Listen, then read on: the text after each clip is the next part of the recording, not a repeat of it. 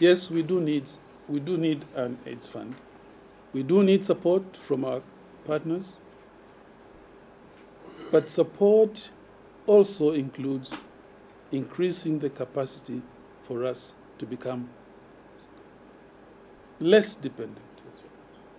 So when we talk of collaboration with our partners, we are not only saying help to do what we have agreed needs to be done, but also to be capable of continuing to do that over a period of time ourselves. And so let me state our government's resolve to prudent use of public resources, whether externally or internally sourced. I think that His Excellency the President has made it very clear that corruption is not going to be tolerated.